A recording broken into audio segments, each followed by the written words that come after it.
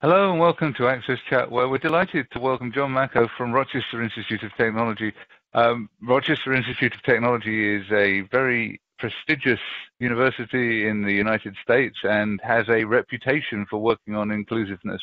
Um, so, John, it's a real pleasure to meet you. Can you tell us a little bit about yourself, how you came to work in the field, and also um, about the work that you're now doing at RIT? Hello, everybody. Nice to meet you.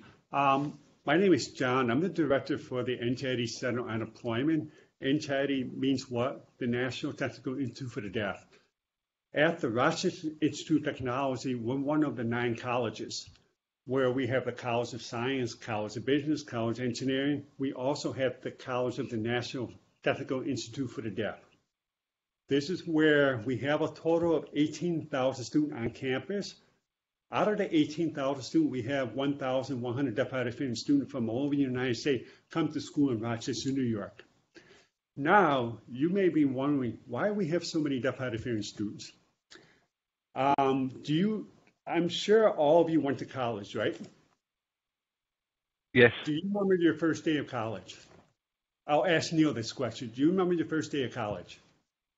Well, I remember the morning of the first day. My memories are a bit foggier um, after the morning. But yes, I, I do. But how did you feel that day? Uh, nervous. Okay. What else? Ex- excited, privileged. Um, yeah, I, I, it, it was a mixed it was a mixed sense of emotions and feelings, and daunted to a certain extent to be uh, at, at such a prestigious institution. Okay, thank you. I'm so happy how you describe your feeling because that was the answer I was looking for. The reason why I asked that question because imagine you are a person with disabilities, especially if you're deaf or hard of hearing, you're the only one going through that university. Mm-hmm. Suppose you were deaf, Neil. How would you feel that day? You're the only deaf person on campus. How would you feel? Uh, probably isolated. Okay. What else? Uh, would you feel more? Would you feel more overwhelmed? Potentially more, not just potentially more overwhelmed, but but but also um, there's the whole fact that you need to be teaching other people how to communicate with you, finding out how you're going to get the information, looking at all of the access needs and everything so yeah, there's a there's a lot more to it than just turning up, uh, finding your room, and then finding the bar. I am so happy you said that because you're right. Many of the professors, this is if you if you are the only deaf person at a university, it's the professor's first time having a deaf student class. If when they find out you're deaf, they're like, "What do I do now? How am I going to teach you? What communication strategy do we need to discuss?" But anyway, um, the reason why we have so many deaf hearing students because the awareness level is very high here. The college professor, they're comfortable having deaf hearing students. NTID has been around for 51 years, and we have over 9,000 alumni have graduated. So we're pretty successful. And also, we have more than 145 sign language interpreters on campus and 60 captionists. Understand that you're not required to know sign language to go to RIT. You're not required to know sign language. If you don't know sign language, fine. There's other ways we can communicate in the classroom. So our um, college professor, they have a lot of experience, and plus they're comfortable having deaf artists in the classroom. So that's the main reason why we have so many deaf artists. And also, RIT, most programs require do intern or cooperative education. If you don't do it, you won't be able to earn your degree. So, for example, if you're in a business program, you need to do a total of 20 weeks of intern related to your major to earn your degree. If you're an engineer, you got to do a total of 50 weeks. And that's why we have so many deaf hard of hearing students on campus. So anyway, um, I'm the director of the NTID Center on Employment. It's a career center for the deaf hard of hearing student. I have a total of nine people on my team. We are responsible for training our students to find job. We don't find job for our students. We teach them to develop their resume. the cover letters, practice interview, how to apply online, all that. We also work with companies all over the United States to make them feel comfortable with the idea of hiring deaf people. Now, when we're working with companies, what do you think are the top three concerns that we address on a daily basis when we're working with companies? I would say I'll go- social. Go on. I would say the, the the socialization within the organization. I- Can I you, would- can you go on. elaborate by, so, by socializing? Can you elaborate? So uh, the, the way our em- em- employees uh, network with each other, how they collaborate, how they socialize, and how they integrate within the within the, that company community. Yes, in other words, how are they going to communicate together?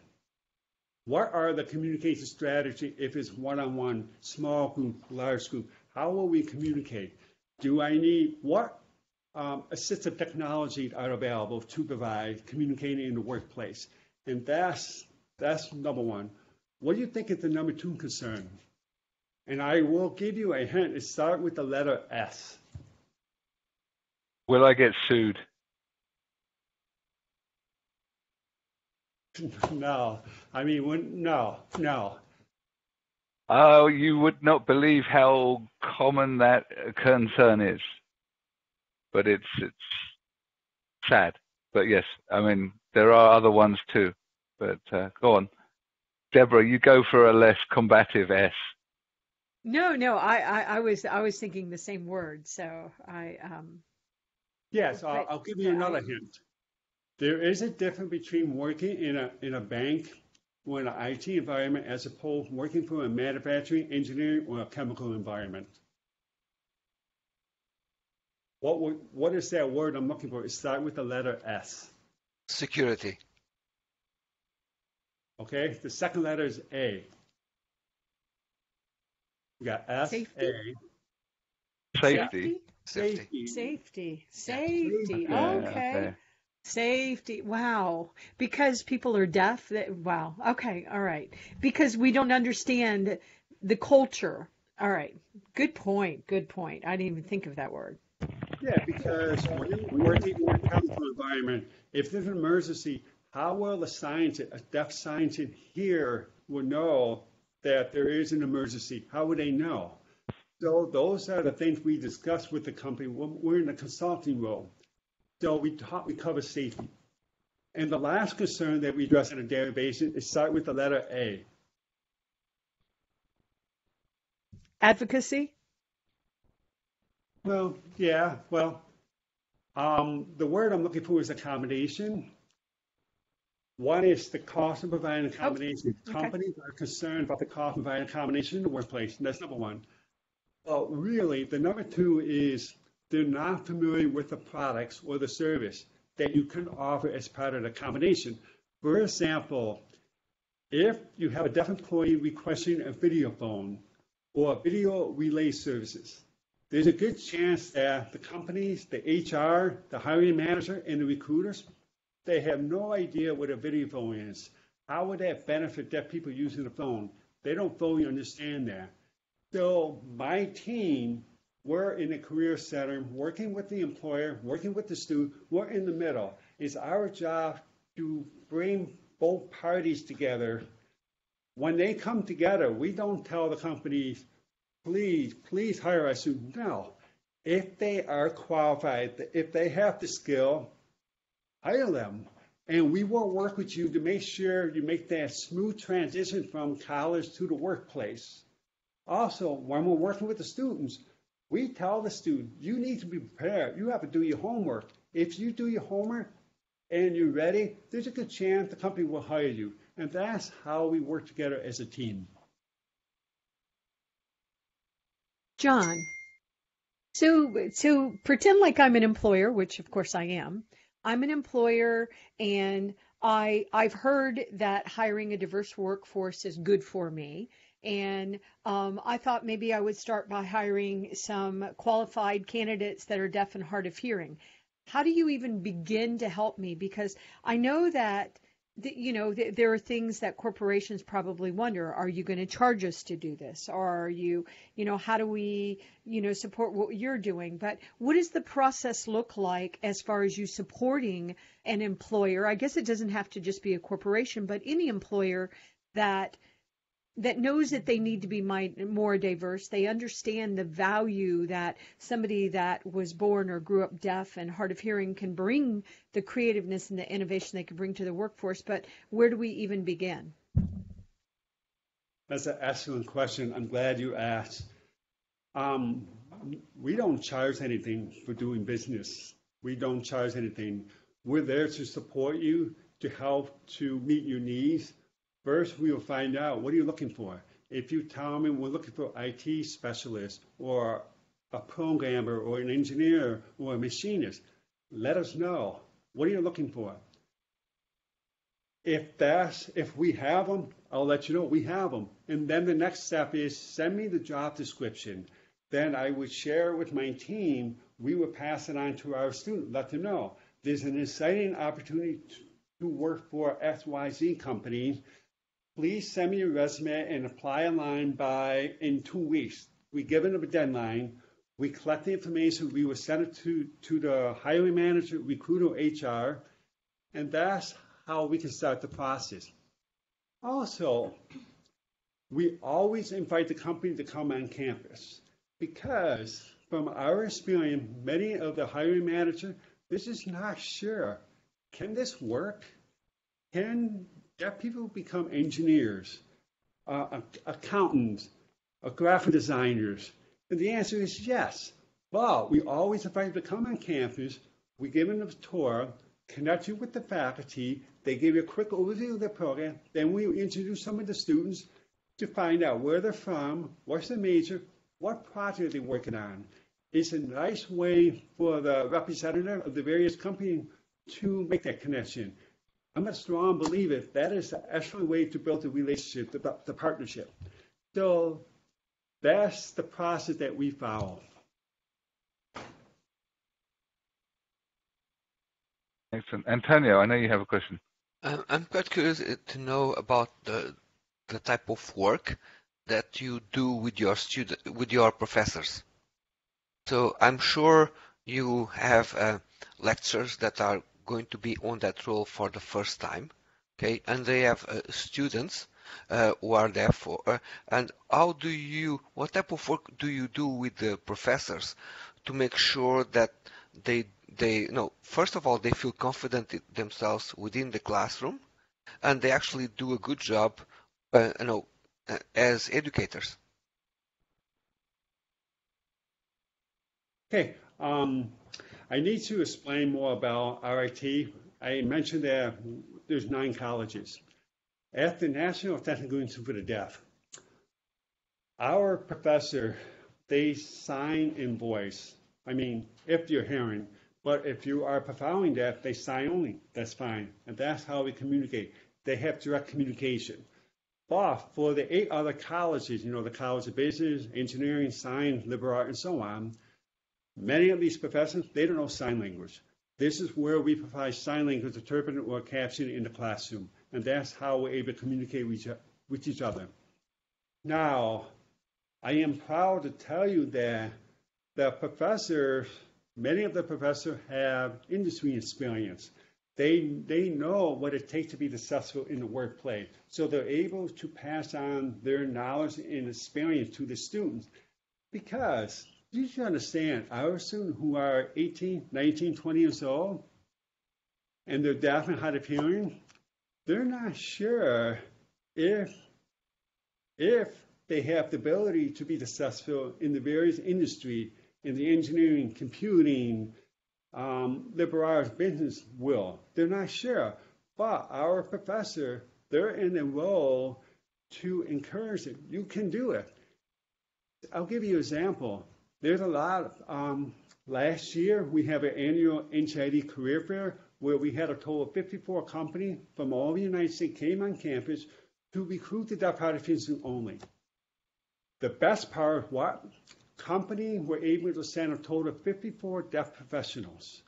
44 had graduated from from NTID RIT, it was awesome because, again, our student, 18, 19 years old, they had never met many successful deaf people in the various workplace. And yes, I can explain what the company's looking for, but it's always better for the student hear from the deaf professor who's very successful. It was a wonderful experience. So that's how the professors, my team, and the student and alumni, that's how we all work together to be sure our students have the appropriate resource to be successful because we want to be successful.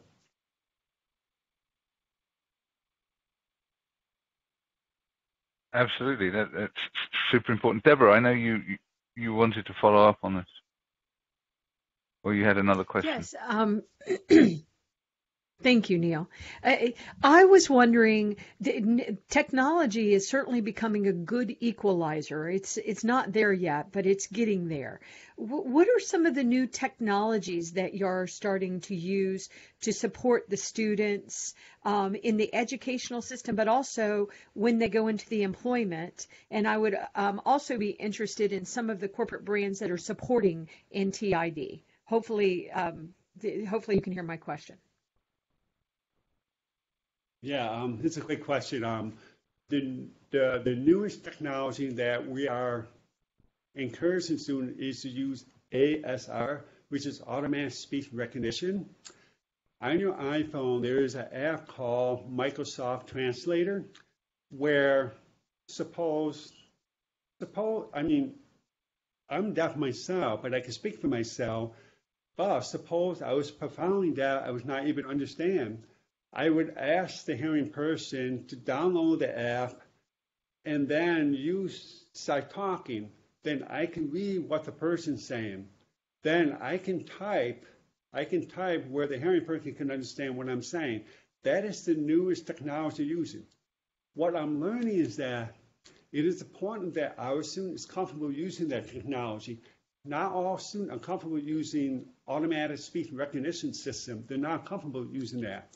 Also, when you're working with the hiring manager, is the hiring manager comfortable using that technology? If there's, it's depending on the manager and the co-workers. Some people are comfortable, some people are not comfortable. And this is where our students are learning to figure out which technology is going to work. I'll give you another example. We did a study for three years our students, when they're on a co-op for the first time, we discovered that 80, 80% of our students on co-op for the first time did not ask for accommodation.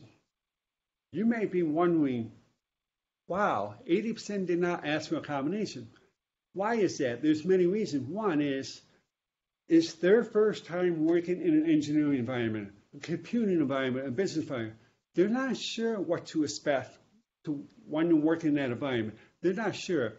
So they're not sure how often um, do bosses have weekly meetings. How often do you do you have to communicate with a small team every day? They're just not sure what to expect. But when our students do their second or third co-op, they have a better understanding what accommodation they need to request. They know how they're more comfortable advocating themselves. They understand who to contact to make the arrangement. But when it's their first time, they're just not sure. It's just part of the learning process. By the, by the time they graduate from college and they find a full-time job, they're more comfortable advocating themselves. Plus, many of the companies that we work with, they're comfortable hiring our students. They have that experience. Yeah. I, I'm, I'm, I'm, you know, very keen for us to help people talk about these stories and and for uh, I work for a large company, so we've got a hundred and plus thousand people working for us globally, and and so in order for us to socialize that and uh, for uh, for managers to feel comfortable, we've got to create stories uh, within our own organization that they, they that they can feel comfortable. So um, sometimes we have to sort of virtualize what you've you've talked about. So I, I think it's great that you're able to take people uh, into RIT to see what you're doing, and I think that that we then need to find ways of replicating that experience within our own organization. So where we've already made accommodations for employees, we need to be getting our employees to talk about that and our managers to talk about what we've done in terms of accommodations, or we call them adjustments in the UK. Um, and, and for people to tell their success stories so that we're making sure that, that people don't feel daunted by taking on a new employee with a disability or a new employee who is deaf or, or hard of hearing because we do have the technology and we do have the knowledge within our organization. It's just that it's not necessarily present with that manager. So uh, reducing the fear is, is, is important. And so do you also, I know you're here today talking with us, do you also go out uh, and, and, and talking about this at conferences or and at um, you know at, at, at, external you know yes you had the, the dedicated employment fair but do you also do this at at more general employment fairs because I'm very keen to see inclusion in the in, in the main workforce and, and beyond us you know having special cases you know and special employment conferences although they are needed Yes, Neil. Um, my team, we travel all the time, all over the United States, working with companies. We give presentation. Is it an employee awareness program where we gave it a taste what it's like to be deaf or hard of hearing? We have um, videos. We show videos of what it's like to speech read. For example, we will show you four different scenes. The narrators that guide you and then the voice will be turned off. Now you have to watch the scene and guess what the person's saying. Because let me ask you a question. Do you, this is a general question, do you think that people are great speech readers? Not naturally. That's that's an art that is learned. And also it depends on how someone is speaking. So I'm conscious now that I'm speaking to you, uh, and I'm conscious that you will m- more likely want to read my lips as well as look at the translator. So I am speaking more clearly, more slowly, and uh, making sure that I open my mouth and I face towards you. So I'm not doing this because that makes it a lot harder, right? Yes, yes. Um, there are some hearing people believe that deaf people are great at speech reading. Then I always tell them, let's watch the video, see how you how you feel. So after watching the video, it's really short, about five minutes. They're like, wow, this is difficult. Now they understand why deaf people are requesting a combination in the workplace because not only in their speech reading, you're right, Neil, I can hear you, but I can't understand everything you're saying. For example, um, if all of us were to fly to Japan, we're in Tokyo. If you don't know the Japanese language, can you hear the Japanese talking in, can you hear the language? That's the question. Can you hear them talking? The answer is yes. But can you understand what they're saying? If you don't know the Japanese language, no, you can't understand. That is the best way for me to describe my hearing loss. Yes, I hear everything, but I can't understand everything. I love to listen to music.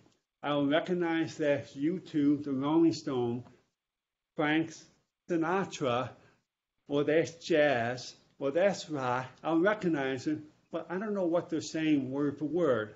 And that is the best way I could describe my hearing loss. This is why I request these accommodations, having live caption, having a sign language interpreter. That is how I'm able to communicate with hearing people, especially in the workplace.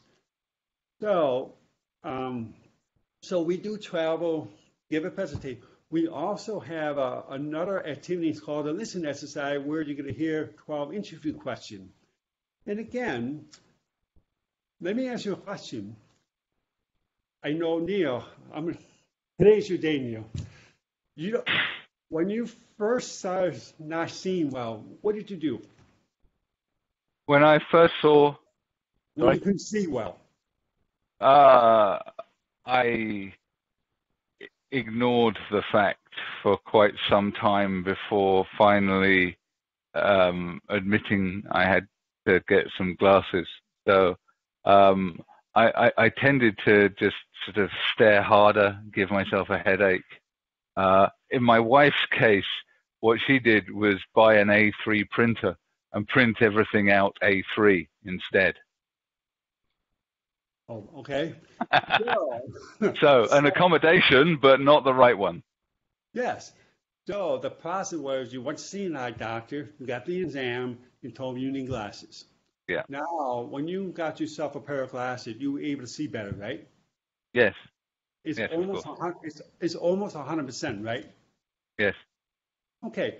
Now, from my experience presenting, many hearing people think that if you can't hear well, get yourself a hearing aid or a cochlear implant. And I tell people it's not the same thing. Yes, it helps us to hear things if we have the ability to hear something. But what people fail to understand is we can't understand everything. And this is why we need captions. We need a sign language. This is why we need paper and pen. We need our iPhone to text each other.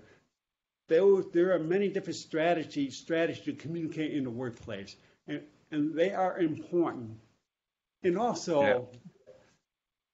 I'm going to tell you a story. Um, one day, I get a phone call from a hiring manager. He was trying to figure out his budget. He he just hired a deaf person, full time, and he has a weekly department meeting every two weeks. When he was doing the math to figure out his budget, it was it was a lot. So he called me to say, John, what am I going to do now? And I say, time out, time out. And I asked him a general question, and I'm gonna I'm gonna ask Antonio this question. Antonio, in order for you to be successful on your job, what resources do you need do you need to have to be successful? What resources do you need? This is a general question. Well, uh, uh, I need uh, access to uh, organize company resources, computer, phone. Uh, I need to do the different uh, areas of you know where the different offices where they are located. Know, you know who is doing what, and if and if is there someone. Uh, let's say if I work in an office, who is the person that manages facilities or uh, that I can go and ask a question? Yes, thank you. You also need a desk. You need a chair. You need paper. You need pen. You need all of that. Suppose the company don't provide you that. Can you do your job well? No. No. No. No, Okay. no.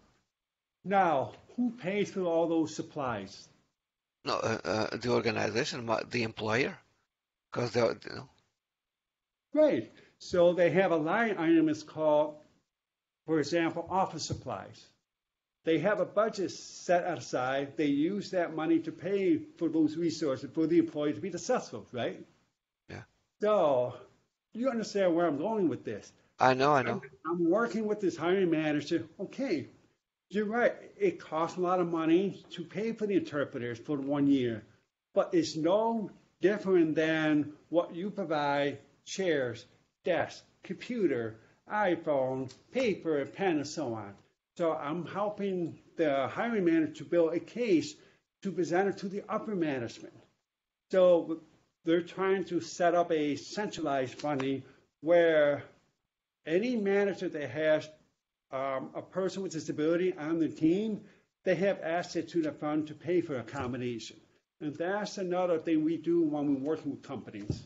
No, but John, I, I can say no. Some organizations already have uh, individuals within the organization who have someone to help them, and they don't really they don't really know. Uh, no, they might be in a senior position, but you know, uh, uh, vice presidents, CEOs, other executives, they might have a personal assistant, and they don't really know. they that's related with the volume of work. So, but they already have them. So I think there's somehow a parallel between them and the person that needs accommodation. Yes, I mean, it's part of educating, explaining how it could work. And also another strategy that works well, suppose I'm working with XYZ company, they're successful hiring people with disability. I have a new company who's interested. I will explain what you can do, but I also would connect them to the XYZ company. They could share their experience. What do they need to do to make that smooth transition for a person with disability to join the workforce? So that's another strategy we use to work with them. Also, when it's speaking of new company, it is important that you start small. I've worked with companies, they're so excited, we want to hire many deaf people. I said, wait a minute, start small. Is it important that you identify the right managers who is willing to give our students opportunities? Because there are some individuals, they're just not comfortable with the idea of hiring people with disabilities, especially deaf hard of hearing. It is important that you identify the right person who is willing to give that person an opportunities. And when when it's working, then we'll ask the hiring manager, do you know another manager at your company who will be willing to give our student opportunities? And that's how you grow over time. But when you when it's a new relation, you want to start small. Because that is the best way to it, it'll become a win-win. When you hire deaf people, also the company looks good.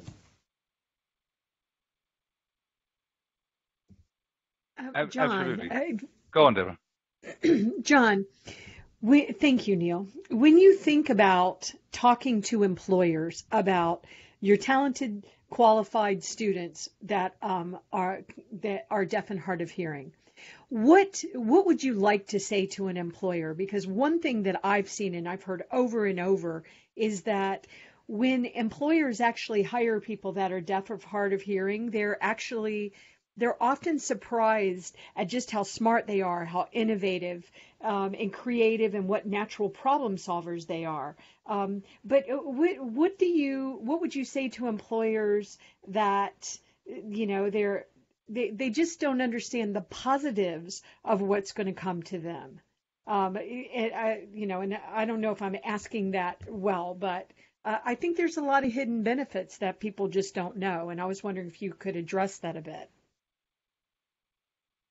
I, understand your question. It's a great question. Um, I always tell company when you hire deaf people, all you become a better communicator. What do I mean by that? Some people learn sign language. Some people learn to take good notes. If you're the hiring manager, you have a weekly department meeting. It is important that you set out the agenda so the people know what's going to be discussed.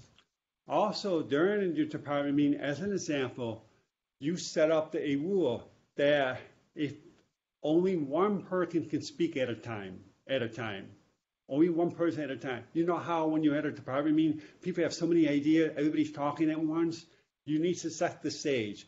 One person, one person speak at a time. Um, so I I've learned that after the meeting, the boss should meet with the deaf person, have a what I call a debrief section where the manager will ask the deaf person, tell me what you learned in the meeting. And the deaf person was explained. Then the hiring manager would say, you're right. Here's an important information you need to you need to be aware of. So the boss will share that information. And that's where that's what I mean. Everyone become a better communicator in the workplace. It's, it's, it's, it's exciting, it's different, it's a different way of communicating. And also, people are using technology to communicate. You're using your uh, text, you're using email, you're using um, um, the relay, you're using tech, this various technology. So you become a better communicator. I think there's some parallels with, for me, learning how to be a better writer through using assistive tech. So I use speech recognition And, and, and what that teaches you is to think about what you're going to say before you say it, because the speech recognition doesn't act very well if you're stopping all of the time and, and saying one word at a time. It likes you to say a, a sentence all in one go and speak clearly. So you have to think before you actually uh, before you start speaking. So so again, the, the working with assistive technology and working with people with disabilities forces you to to to to get better at things and to do things in a different way that that actually improve your overall performance. Well, yes, yes. Um, another thing um, I tell people that many people know sign language, and many people say, I don't know sign language. I go, yeah, you do. And I tell people, right now, you know more than 200 words of sign language. And they're like, no. I go, yeah. I'm telling you, you, you know more than 200 words of sign language. So I'm going to ask Debra as an example, how would you sign the word phone? Right. How would you sign the word computer? Hmm. Maybe. Yeah, you're typing. Right. Computer. Okay. How would you sign the word credit card?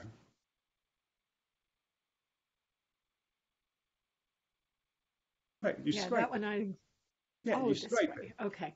You stripe it. Um, how would you sign the word? Um, hey, Tony, how would you sign the word eat? Right, eat. Okay, Nia, how would you sign the word drink?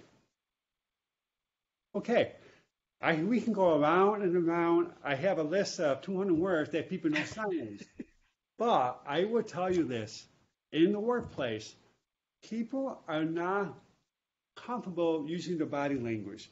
They feel foolish. They feel silly. But I tell I tell the people, guess what? We can hear any better. This is the best we can do when communicating. But you have the ability to learn sign language. We are, if you are, we're not expecting you to be perfect, but pick a word there or pick a word there. We appreciate that you are making an effort to using your body language, learning a few words. And that is, isn't again, you become more comfortable with yourself in the workplace and you become a better communicator. Right. Give I- me hope that I can learn sign language. I want to learn it. John, you need to send us the tip sheets because I want those 200 words. Yeah, Yeah. I'd be glad to send it to you. Now, understand, speaking of sign language, each country has their own sign language. Like the British, they have the British sign language. We have the American sign language. We have the Japanese sign language. We have the Italian sign language. Each country has their own sign. So I just wanted you to be aware of that. And also, people ask, how long does it take to learn sign? It depends on each individual. There are some individuals, they can master the language pretty quickly. Others, they they they process and they process and they process. It's it's not that simple. It takes time to learn a language. And the best way to learn a language, you need to be into that culture. You need to interact with deaf hard of hearing who's using it every day. It's the same. If you want to learn how to speak Japanese, you need to hang out with Japanese people. That is the best way to learn a language. Yes, you can read it, you can watch it in a video, but the best way to be in that environment. Yeah. I, I think going back to um, some of the advantages of em- employing people who are deaf and, and, and also signers, what you're doing is complex. You, you're actually speaking two languages at once. Yeah, you're speaking English and signing. So what you're demonstrating is a capability to multitask that is really highly developed. That has to be good for businesses in the modern age. Well, well, yes. Um, I tell people that there are there are many people who are deaf or in this world, and there are they are your customers. If you are able to provide accessibility, if if people want to order something online, they need to make sure the video is captioned. if the video is captioned, then there's a good chance the hearing people will buy your product or the service. And that's another that's that's another benefit. There are people social conscious, they want to know, are you hiring people with disability? Are you hiring deaf people? And if the answer is yes, it's good for the business. It's good for everybody. Absolutely. So I, I think we're we're at the end of our half hour. It's been a, a real pleasure talking with you and, and learning about the amazing work that you're doing. Uh, it's it's really uh, inspiring, and I don't use that word often. Uh, but but what you're doing is you know, at, at, great scale, and, and and and that's what's so inspiring for me. Um, so thank you very much, John. I'm I'm looking forward to you joining us on on Twitter next week, uh, and looking forward to hearing more about what you're doing because this, I'm sure, is something I want to follow up. Uh, also need to say thank you to MyClearText and Elaine and, and the crew for making sure that we have captions. Barclays Access and Microlink also for supporting us and keeping the lights on and, and the wheels turning.